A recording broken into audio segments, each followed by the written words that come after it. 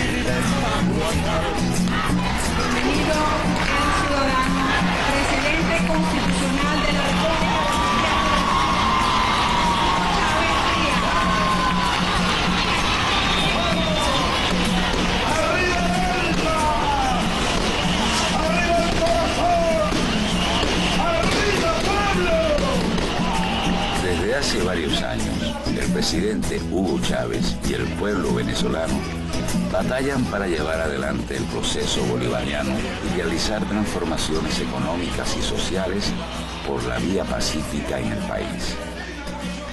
Se trata de un proceso sui generis que se levanta con los pobres, los militares y algunos sectores de las capas medias sobre la enorme crisis económica acumulada por los gobiernos anteriores.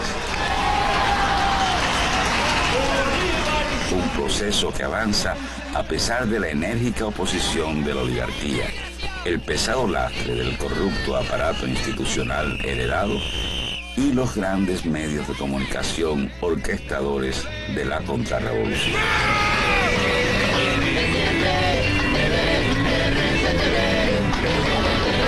Investigar a una Comisión Internacional de la Verdad. Los pecados de Chávez, edición especial, hoy, 10 y 30 de la noche, por tu RCTV.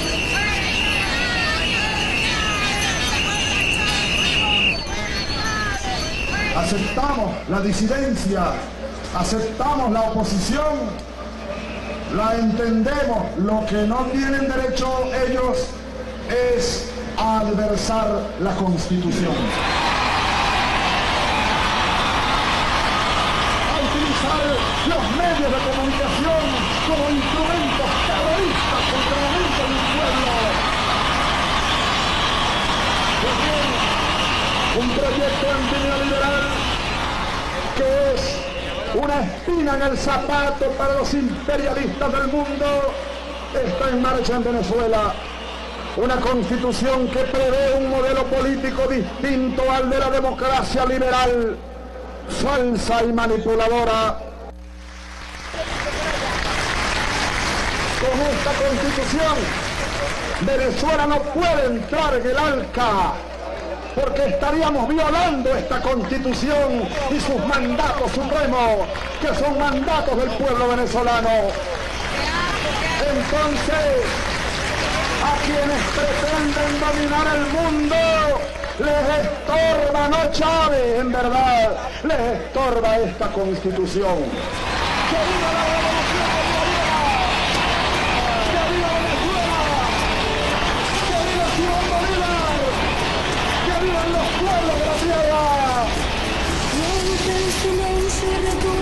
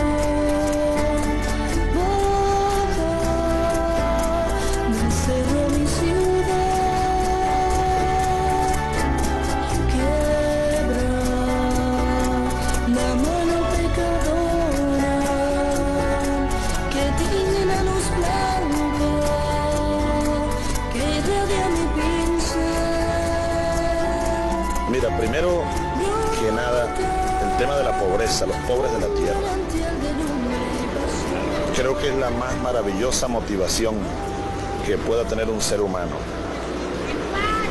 Ya Cristo lo decía, bienaventurados los pobres, porque de ellos será el reino de los cielos. Claro que decimos los revolucionarios que el reino de los cielos debe estar aquí en la tierra. Aquí, en la vida de todos los días, debe ser el reino, el reino de los pobres, la justicia, el reino de la justicia. Decía Simón Bolívar, la justicia debe ser la reina de todas las virtudes republicanas. Entonces, no hay nada, no nada que motive más el corazón de un soldado revolucionario que luchar por los pobres. Venezuela tiene una población de 24 millones de habitantes. Es un país con grandes recursos naturales, excelentes tierras, diversidad de minerales, recursos hidráulicos y sobre todo es una de las reservas petroleras más importantes del mundo. Sin embargo, alrededor del 80% de sus habitantes vive en la pobreza. Un 15% no tiene trabajo y la riqueza está en manos de una minoría.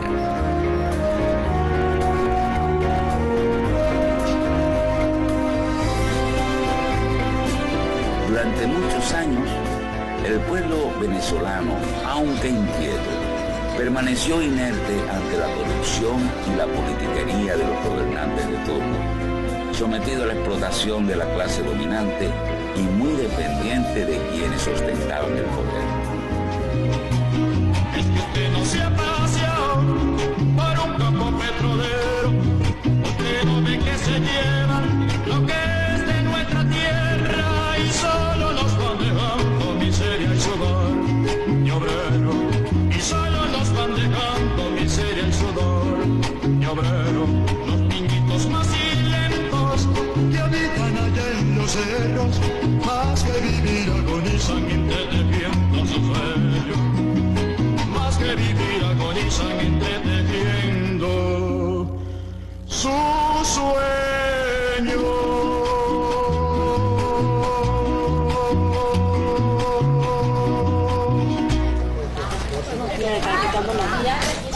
Sensibilizado con la realidad que vivía el país, en 1982, Hugo Chávez y un grupo de compañeros de armas fundaron el Movimiento Bolivariano Revolucionario 200, una organización cívico-militar para luchar por los pobres.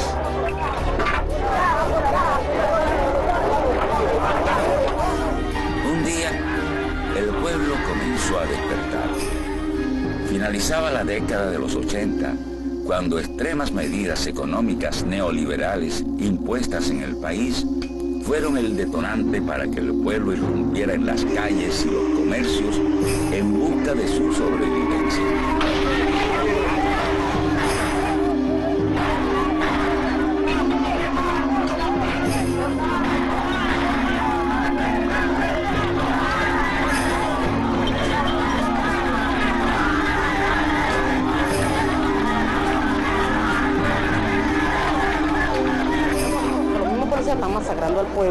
Se metían, yo, este, se metían en los negocios, ellos mismos abrían las puertas, la Santa María, y dejaban que el pueblo entrara. Cuando las personas estaban adentro, las masacraban.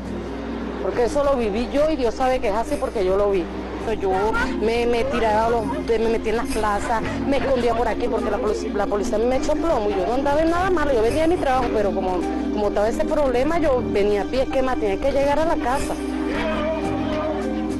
Estos sucesos, conocidos como el Caracazo, aceleraron el accionar del movimiento bolivariano revolucionario, que buscó contactos con grupos políticos de izquierda para preparar una insurrección popular.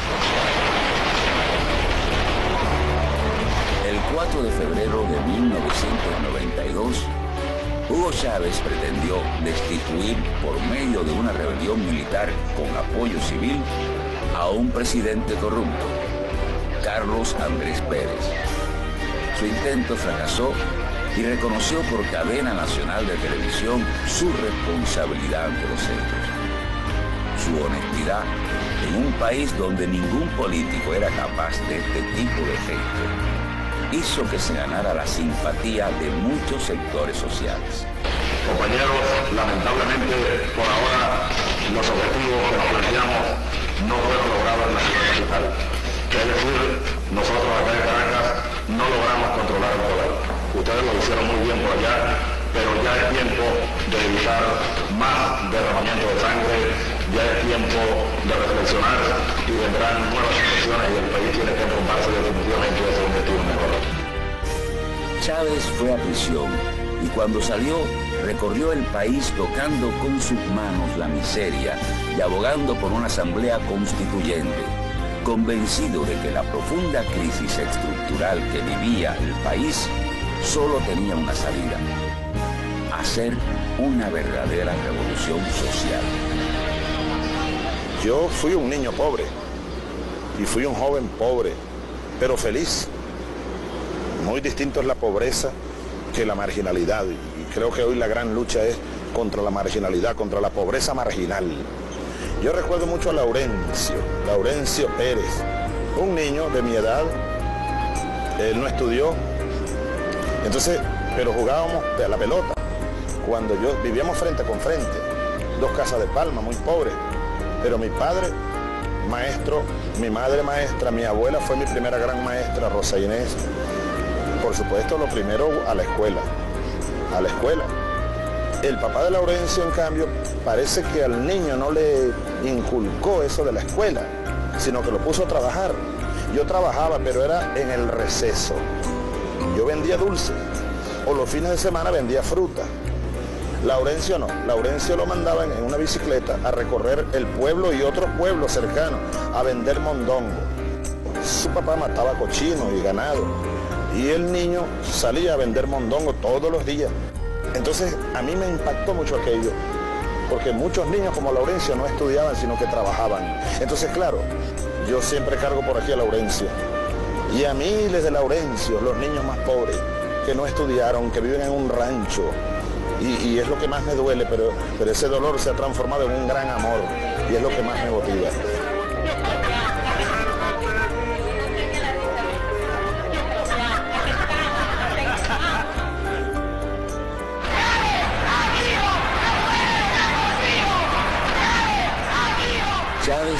Presentarse a las elecciones presidenciales del 98 sin contar con recursos económicos, espacios en los medios de comunicación y sin un instrumento político consolidado.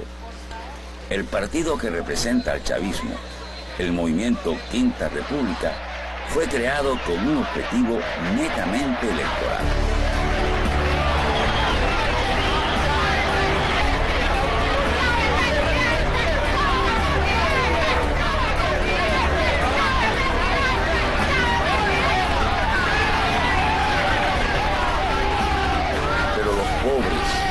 Sectores de la clase media que recordaban a Chávez por su intervención en cadena nacional de televisión, votaron por la esperanza. Su figura carismática ganó las elecciones por amplia mayoría.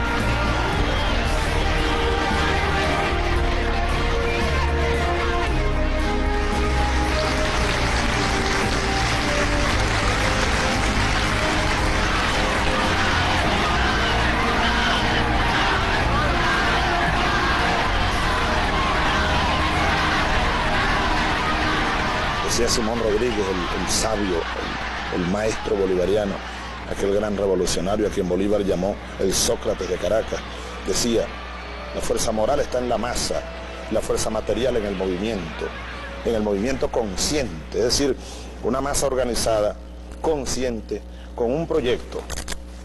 Este es el proyecto del pueblo venezolano.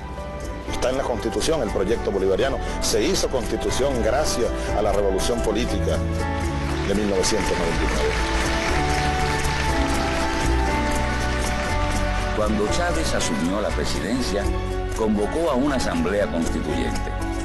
Su objetivo era aprobar una nueva constitución para cambiar las reglas del juego político y poner trabas al neoliberalismo. La prensa opositora empezó a atacar a Chávez desde los comienzos, a sembrar cizaña, a deformar las acciones del gobierno, como que algo malo iba a pasar. Sin embargo, la popularidad de Chávez se mantiene y logra ganar una serie de consultas electorales. Yo creo que es el gobernante que más consultas electorales ha hecho en nuestra América Latina. Gana, por ejemplo, el referéndum eh, para la convocatoria de la Asamblea Constituyente, gana las elecciones de constituyentes y luego gana el referéndum que aprueba la nueva constitución.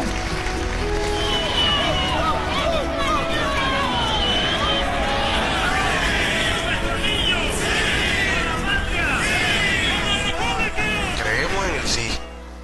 O sea, es la última, el último cartucho que más de la vida pacífica.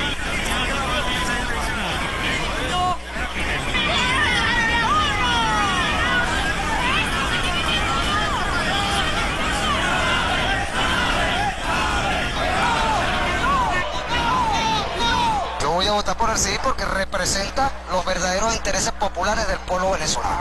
Por eso, por esa razón voy a votar por el sí. El 70% de los votantes aprobó la nueva constitución. La nueva constitución es el hilo conductor a través del cual se harán las transformaciones necesarias en el país. Pero para ello, el gobierno tendrá que enfrentarse a la oposición de una oligarquía que cuenta con muchos recursos. El control casi absoluto de los medios de comunicación, las principales empresas industriales y redes de comercialización, la empresa venezolana del petróleo, empresa estatal pero gerenciada por personal técnico antichavista. Hemos venido como venezolanos a dar la cara para defender un país que nos lo tienen ya en este momento confundido. Esta revolución no tiene su significado como revolución, porque ustedes tienen todas sus necesidades cubiertas. Ustedes son la pequeña burguesía, la pequeña burguesía de este país. Tiene todas sus necesidades cubiertas.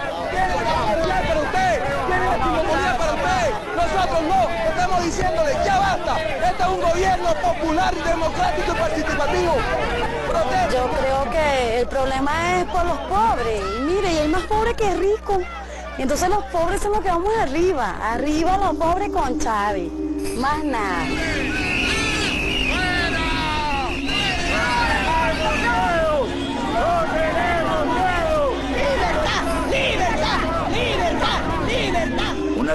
Primeras tendencias de la oposición arremete contra las relaciones entre Cuba y Venezuela. ¡Viva Venezuela! Pero fuera Fidel y fuera Chávez. ¿Con qué cuenta el presidente? Cuenta con el apoyo popular y cuenta con el apoyo de la gran mayoría de la Fuerza Armada de ese país, que es por lo demás una estructura nacional que le permite ejecutar sus planes y una fuerza nacional que le permite hacer los cambios. Con la nueva constitución se llama elecciones para presidente, miembros de la Asamblea Nacional, gobernadores, alcaldes, concejales y juntas parroquiales. Los candidatos chavistas ganan y los partidos tradicionales Acción Democrática y COPEI desaparecen del escenario político.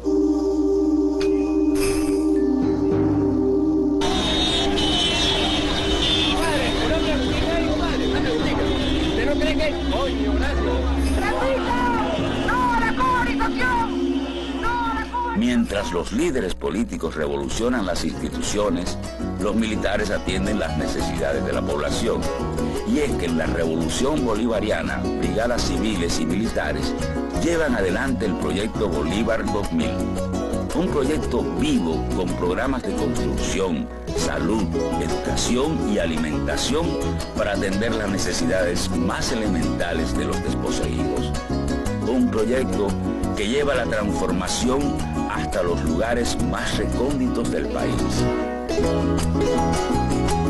Mi familia, mi esposa y mis cuatro niñas vivíamos junto con mi mamá en la casa que es de mi mamá y luego cuando el, gobierno nacional aprobó los recursos para un plan de dotar de vivienda a todas las personas de este sector, em, el plan cívico-militar, esto es los militares con las instituciones encargadas por el gobierno como Fundabarrio, Hacienda Sucre y algunos otros que se me escapan, eh, hicieron un estudio de la zona, hicieron un censo de cómo estaban las condiciones del hábitat y del socioeconómicos nuestros y nos, dijeron que teníamos la posibilidad pues, de acceder a una vivienda digna y nos explicaron a través de sus técnicos cómo iban a ser las viviendas, tenían que ser funcionales eh, para evitar el hacinamiento y para que tuviera todas las comodidades necesarias para, para una vida eh, digna. Pues.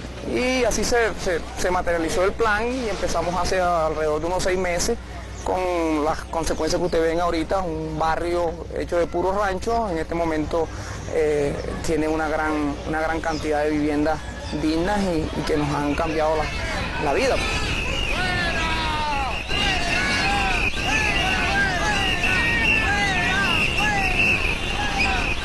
Entonces Chávez entiende perfectamente que no puede avanzar en su proceso si no construye una fuerza internacional y una fuerza nacional que le permita hacer las transformaciones que se propone.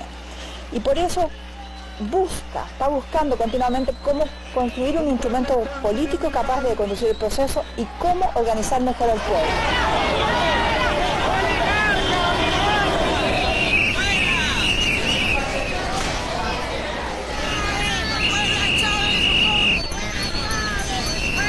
Mientras la oposición se manifiesta, el pueblo comienza a organizarse en círculos bolivarianos, pequeños grupos creados para difundir la constitución, responder a las necesidades del barrio, formar una cooperativa o conseguir un préstamo en el banco.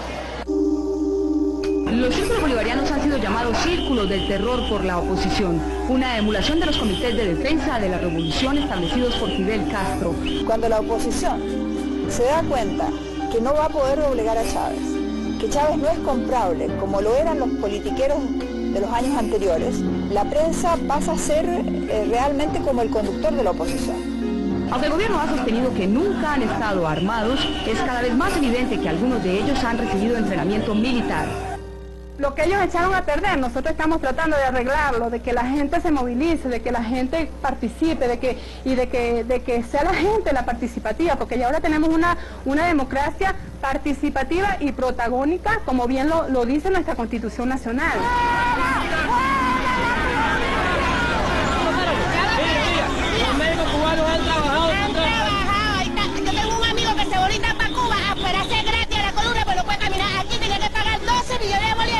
Su vida. Y los médicos aquí no trabajan en los hospitales, no trabajan. ¿Qué están haciendo ellos? No estoy de acuerdo porque no trabajan, no trabajan, no trabajan. Primera vez que me tratan unos médicos como personas, no como los de Venezuela que te tratan por encima del hombro y En realidad eh, no consigo palabra y cómo agradecer a este gobierno y a este convenio porque he de nuevo recuperado mi salud.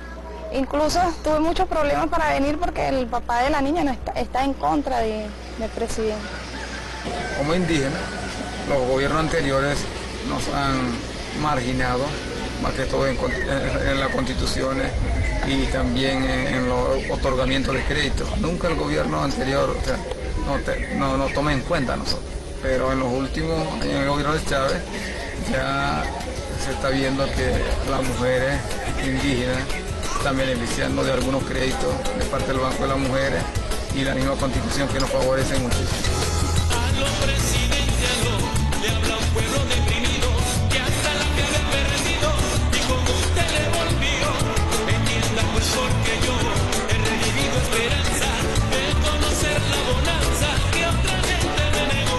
Para informar del avance de su proyecto y formar ideológicamente al pueblo, Chávez creó el programa radio-televisivo Aló Presidente.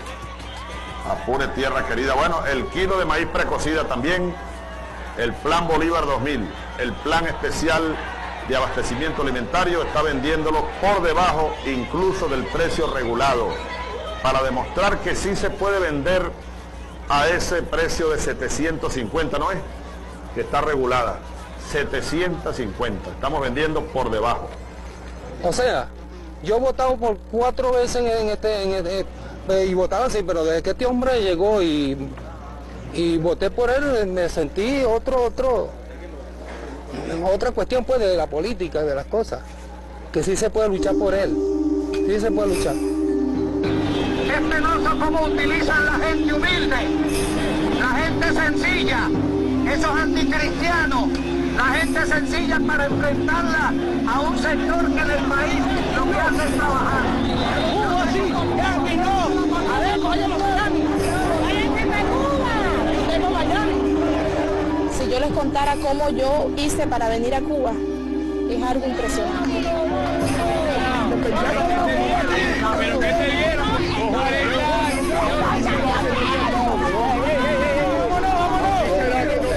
Yo soy de la parte de Anzuategui. El gobernador, por desgracia, no está con mi presidente. Es escuálido. Él me negó toda la ayuda. Y entonces hice arcabala, recibiendo humillaciones. Luego me dirigí a Caracas con los papeles de mi hija, bueno, pasando trabajo, pasando hambre. Y valió la pena.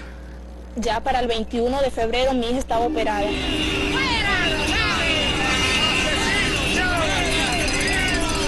La oposición es un freno para hacer las transformaciones por la vía pacífica.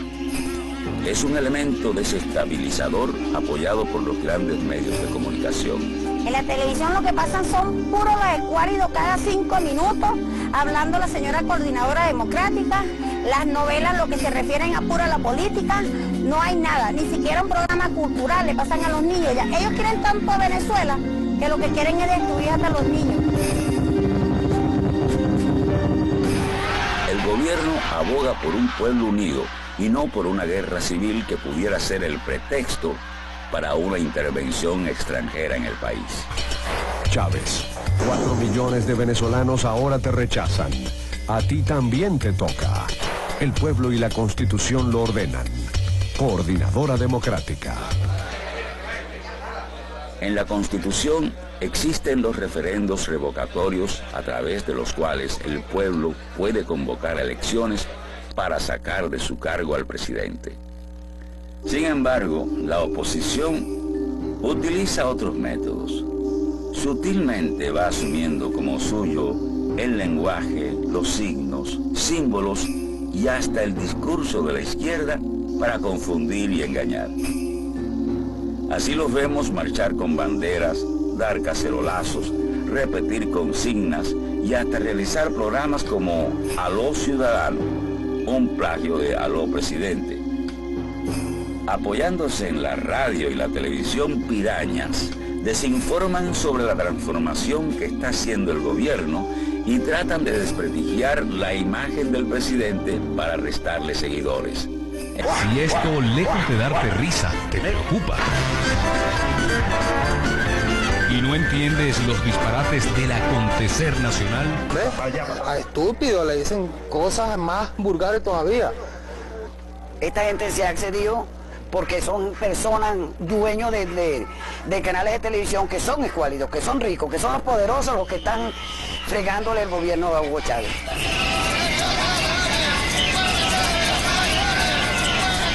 Muchos casos aquí en Venezuela que no- ellos no tienen recursos para operar a sus hijos, a sus familiares y tú lo estás ayudando, Chávez. Te doy muchas gracias. Pareciera que se le quisiera abrir la entrada a otros productos, a otros productos no existentes en el país que no han demostrado su buena calidad o, o no tienen los productos, los medicamentos cubanos que nos los quieren meter hasta por los ojos. Son todas mentiras. Y si en algún momento el, presidente quiere cubanizar a Venezuela, por así decir algo, si es por la seguridad, por la educación y por los estudios y por la salud, que la cubanice. Váyanse para Cuba si eso es bueno, sucio. Chávez no pretende copiar el modelo de otras revoluciones. Él fundamenta su proyecto en un ideario enraizado en las tradiciones nacionales. Bolívar en tierra fértil y profunda. Y aquí está hoy con nosotros, comandando esta batalla. Tres son las figuras que le inspiran. Simón Rodríguez, Ezequiel Zamora y Simón Bolívar. La más destacada figura de la lucha independentista de América Latina. Bolívar consideraba que un militar nunca debía dirigir sus armas contra el pueblo.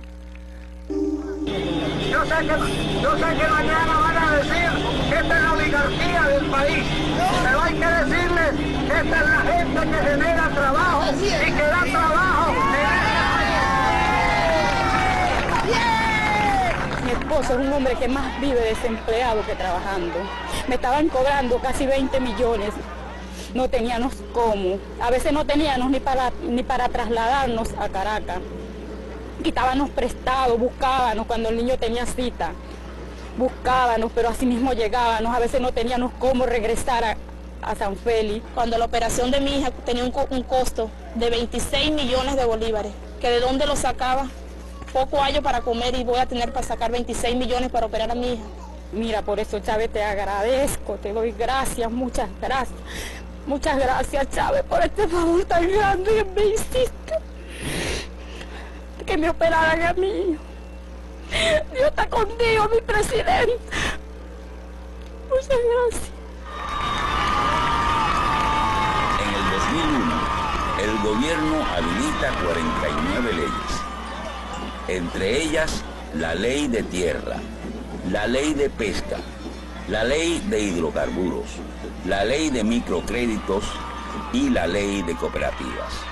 Frente a estas leyes que atacan por primera vez sus intereses económicos, Fede Cámara reacciona como un animal herido y apoyado por la central, la Confederación de Trabajadores de Venezuela, la central opositora, llaman a un paro general.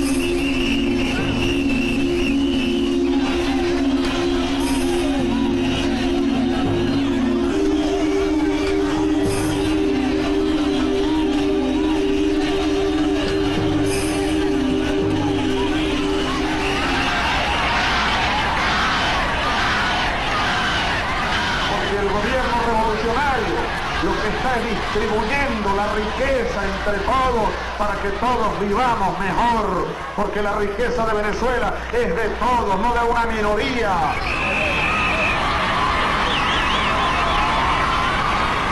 Para poder distribuir la riqueza, Chávez necesitaba contar con el control de la empresa petrolera. Empresa que había sido nacionalizada en 1975, pero que sin embargo su gerencia se mantenía en manos de los mismos personajes y por lo tanto era una gerencia opositora al gobierno. Chávez decide destituir a la gerencia opositora, Fede Cámara y la CTV apoyan a estos cuadros y se arma una gran manifestación.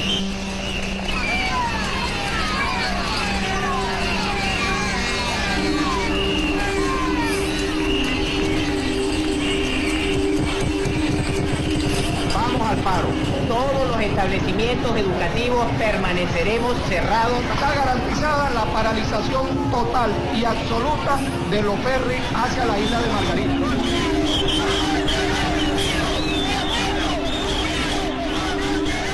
Ante la agresión de la derecha, el presidente no retrocede y se muestra decidido a continuar la revolución. Miquilena, su operador político durante todo el proceso constituyente, y muchos de aquellos que habían conseguido cargos en las instituciones gracias a su mediación, le retiran el apoyo.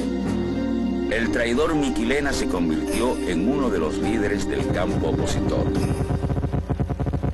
Este río de gente es, el mismo caudal que nuestro río Orinoco. Vamos a Miraflores. El, dominio que tiene la oligarquía sobre la prensa es enorme. Los medios de comunicación llevan, conducen a un enfrentamiento entre los sectores chavistas que están defendiendo el Palacio de Miraflores y la, marcha de la derecha. Hay gente inocente que va solo a manifestar y sin embargo se ve envuelta en un enfrentamiento que está dirigido a crear muertos para poder justificar un golpe de Estado contra el presidente. Este río humano marcha hacia Miraflores contundentemente para atacar a este traidor del pueblo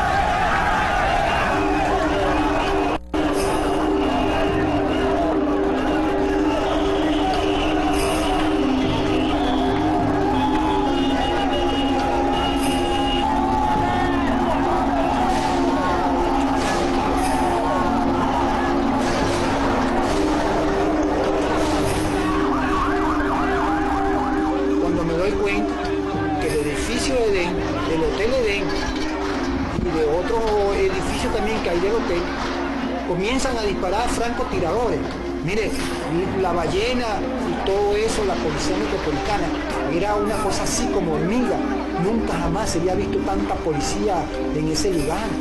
Nunca, yo, bueno, pues eran las 5 de la tarde.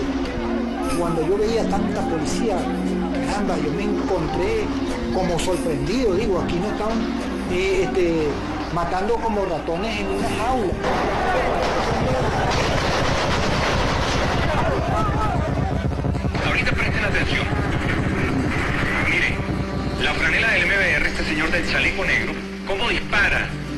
Cómo vacía la pistola. La franela del MBR, este señor ha disparado contra los manifestantes que venían en forma pacífica.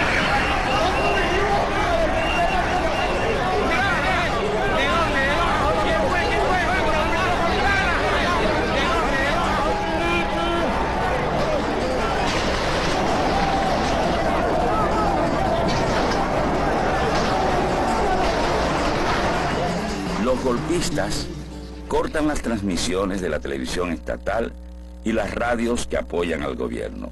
Desinforman al pueblo diciendo que Chávez ha renunciado. Nosotros no queríamos que se entregara. Entonces, cuando llegó el momento que ya se lo llevaban, todos lo rodeamos y comenzamos a cantar el himno nacional. Un grupo que no lo entendía, que sus ambiciones eran más grandes que las necesidades de un país, le estaba dando un golpe de Estado.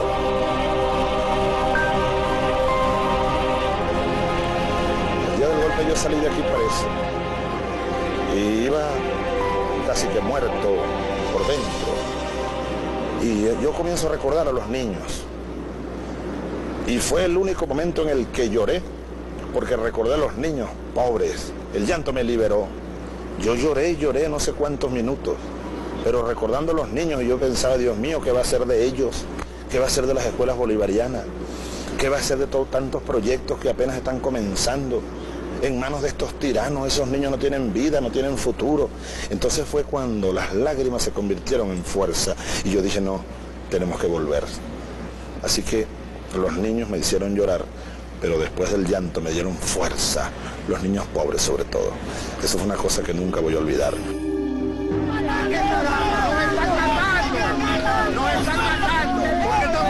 ¿Por qué protestando? Porque secuestraron a Chávez, a Hugo Chávez Frías, no, no ha renunciado. Lo secuestraron. Al asumir el gobierno, Carmona elimina la nueva constitución y disuelve todos los poderes públicos. Sus adeptos empiezan a agredir físicamente a funcionarios chavistas.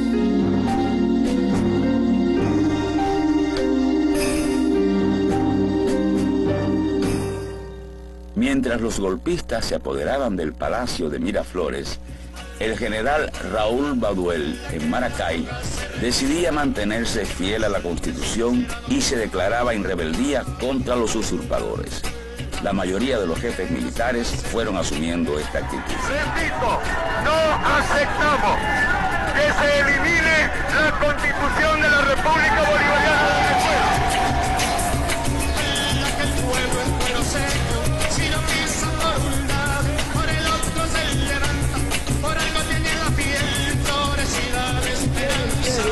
Caracas sigue apegada a los principios que reza la Constitución de la República Bolivariana de Venezuela.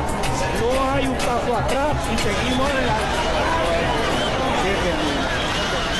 La reacción inicial de Washington al cambio de gobierno en Venezuela fue culpar a Chávez mismo por crear una crisis que precipitó su caída del poder. Es que es así porque Estados Unidos, donde hay petróleo, allí están metidas sus narices. Ellos no esconden sus criterios, ellos no esconden su rechazo a Chávez. Entonces Chávez es como un mal ejemplo para los demás países latinoamericanos y a ellos no les conviene. A Estados Unidos lo que le conviene es tener a todos los pueblos del mundo sometidos a sus criterios, sometidos a sus intereses. El gobierno de Chávez reprimió por la vía armada a manifestantes pacíficos. Ordenó a sus seguidores disparar contra gente no armada. Washington sentía antipatía hacia Chávez desde antes. El secretario de Estado Colin Powell lo criticó abiertamente hace pocas semanas. La Organización de Estados Americanos no se ha manifestado ni a favor ni en contra del cambio de gobierno en Caracas, pero bajo su Carta Democrática Interamericana tendría que castigar a Venezuela si se produjo allí un golpe militar. Lo contrario significaría arriesgar que otros países utilicen el precedente venezolano para derrocar a un gobierno y argumentar que fue hecho sin dar un golpe de Estado. Venezuela, por otro lado, provee a Estados Unidos un millón y medio de barriles de petróleo diariamente y castigarla podría ser un error para Estados Unidos. Esto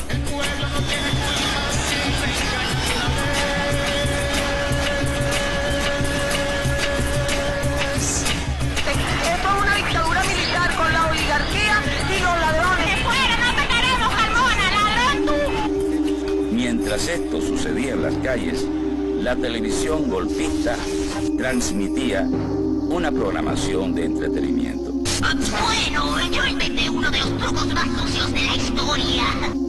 El papel de los medios de comunicación como organizadores de la contrarrevolución fue tan evidente que se ha hablado del primer golpe mediático del siglo XXI.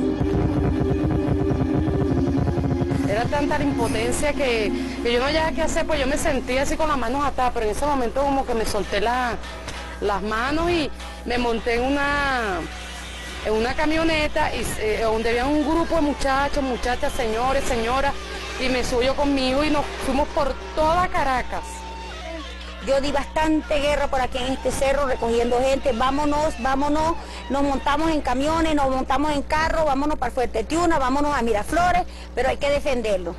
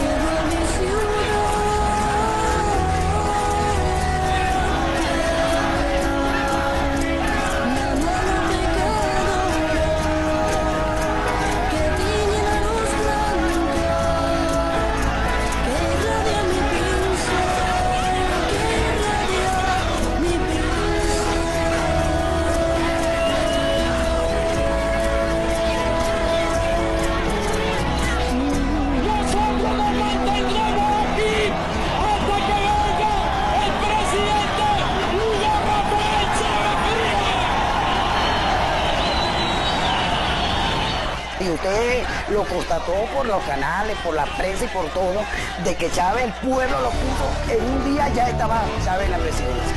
Y lo vuelven a hacer y lo volvemos a poner, porque estamos dispuestos. Ya Venezuela no es la Venezuela de 40 años. Todavía tengo mi bandera, todavía tengo mi pancarta y lo vuelvo a hacer si, se me- si hay que hacerlo, se vuelve a hacer. Pero se defiende la, la revolución venezolana, se defiende, se defiende. Y cuando todo el mundo pensaba, porque la lógica te lleva a eso, pensar, de que venía a decir, está preso fulano, pensejo, sutano, no, él vino hablando de paz, él vino con un verbo de que dialoguemos, estoy dispuesto a rectificar. ¿Qué presidente del mundo hace eso? Tras el fracaso del golpe, Carmona, el breve, huyó del país. Pero algunos generales y jefes golpistas que por debilidades del sistema judicial venezolano no han sido sancionados, montaron una tribuna en la Plaza Altamira, un escenario para que la radio y la televisión opositora transmitan a todo el país la contrarrevolución que allí se genera. Esa es la, la- la fortaleza de ellos. Pobre que se arrima por allá, pobre que lo sacan a palo. Y hoy aquí, nada más voluntariamente a pie, con sus propios medios, sin emplear un solo autobús, hemos llenado cuatro kilómetros de esta autopista con más de un millón de seres humanos, donde están desde Chacaíto hasta los Ruices. Y el que no lo crea, que se asome.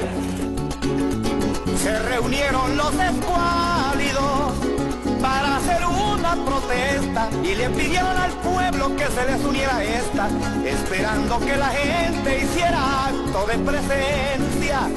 Pero como el soberano es gente pobre y humilde, pero inmensamente honesta, siguen apoyando a Chávez con coraje y con firmeza. Se quedaron los escuálidos de la cabeza. Ellos tienen el billete, apoyo en televisión, toda la radio y la prensa. Cada periodista cobra según las veces que mientan, pero nosotros tenemos todo lo que les molesta.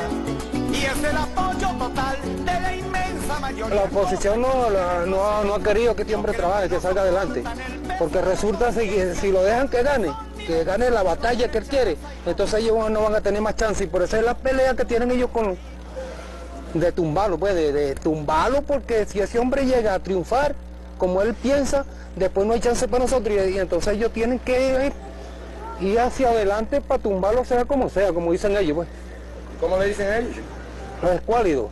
¿Por qué le dicen los escuálidos? Bueno, los escuálidos será porque no tienen sabor, no, no. ¿Ah? ¿Qué le dicen los escuálidos? Pues si uno se va al diccionario de esa palabra, yo no sé ni quién la sacó. Porque ellos se le dicen los escuálidos porque ellos no tienen que ver, no ven con la gente pobre. bueno, ellos, ayer dije que era un escuálido, que era un tiburón porque tiene muchos dientes grandes.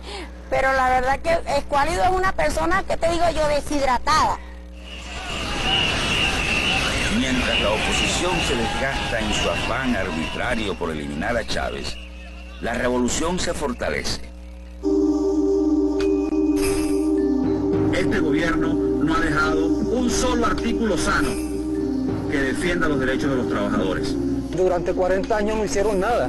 Y entonces eh, quieren que el gobierno en cuatro años hagan todo lo que ellos eh, acaba- acabaron con el país durante 40 años.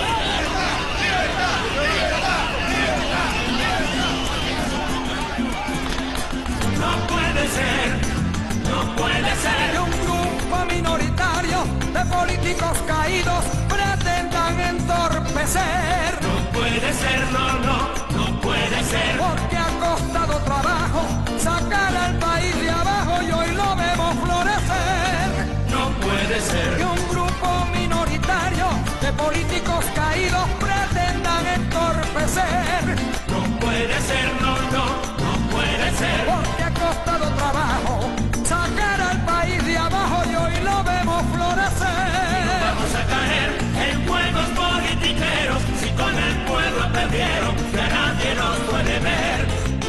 eso no puede ser que quienes nos engañaron y a Venezuela robaron hoy nos quieran defender y no vamos a caer. ¿Qué respuesta vamos a darle al pueblo de Venezuela frente a esta crisis?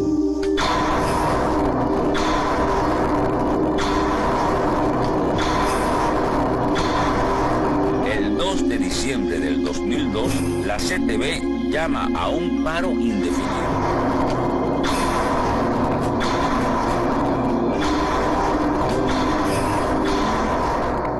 pero ya la gente estaba preparada porque dice, oye, otro paro, lo que uno escucha, otro paro, otro golpe.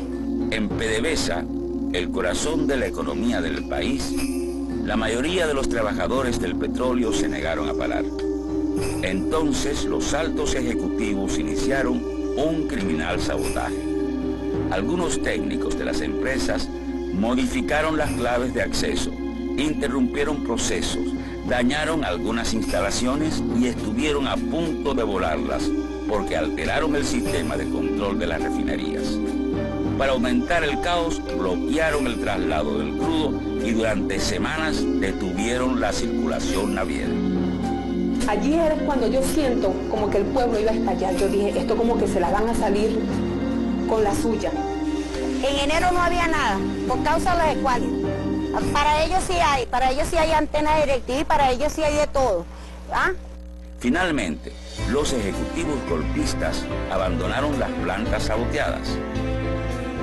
El gobierno llamó a profesionales y técnicos patriotas para poner en marcha las plantas abandonadas por los ejecutivos golpistas. Los militares, junto al pueblo, recuperaron los navíos, protegieron las instalaciones y organizaron la distribución y venta del petróleo. El pueblo comenzó a aplicar los derechos que le otorga la Constitución y las escuelas y los comercios comenzaron a abrir. El paro se fue disolviendo poco a poco. El golpe petrolero tampoco logró detener la revolución bolivariana, pero la economía del país sufrió daños incalculables.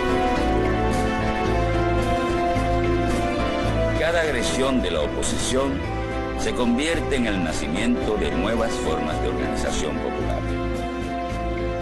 Numerosos sectores de la clase media han comenzado a reaccionar y organizarse. Han surgido así las agrupaciones de médicos, profesores, abogados y otros grupos que apoyan al gobierno.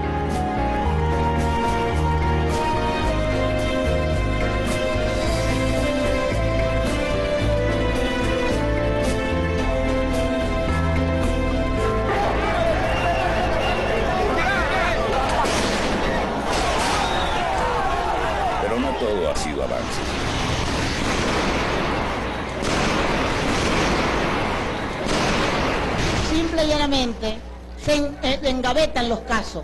Entonces el problema es de impunidad. Y entonces, así como lo dijo Bolívar, cuando los delitos quedan impunes, se van a repetir y llega el momento que no se pueden controlar. Entonces, esto, la verdad verdadera, nosotros como revolucionarios tenemos que hacer algo. Tiene que haber abogados honestos, tienen que haber gente dispuesta. Porque no puede ser posible que a uno lo maten como un, como un perro, porque es como un perro, y entonces no pasa Bueno, nada. Ni siquiera un perro merece que lo maten. Pero por eso, pero por Sí. eso, pero por eso, entonces, yo no sé qué vamos a Mira, hacer. Antonia. Es más, yo pido intervención de la justicia. Yo pido que se intervenga, que se intervenga. ¿Cómo? Yo no sé cuál es el mecanismo, pero ya esto es, no lo podemos tolerar más.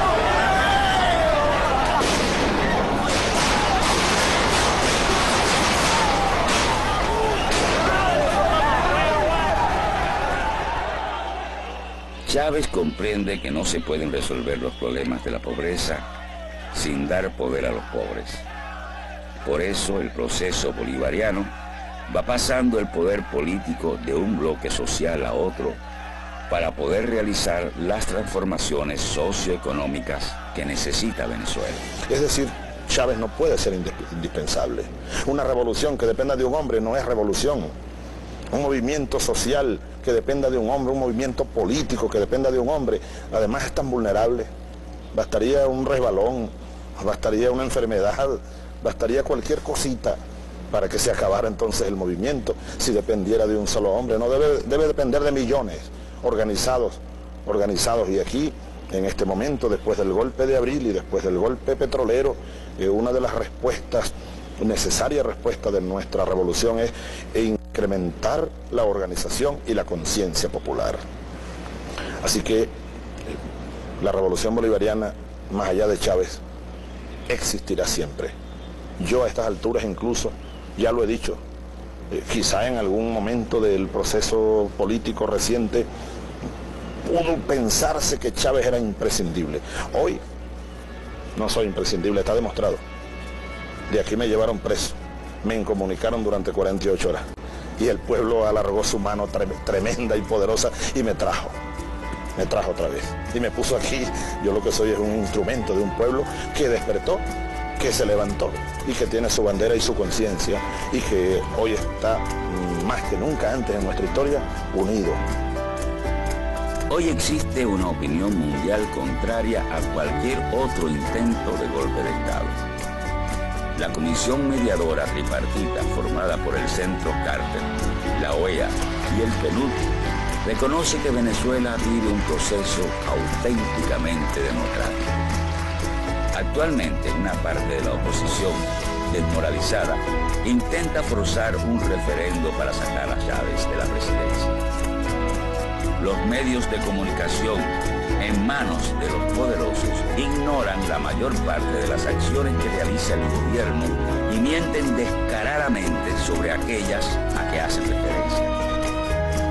Pero ya su discurso se ha vuelto arcaico ante millones de ojos abiertos y millones de manos que se juntan, millones de ojos que ven la transformación, millones de manos que se levantan revolución bolivariana.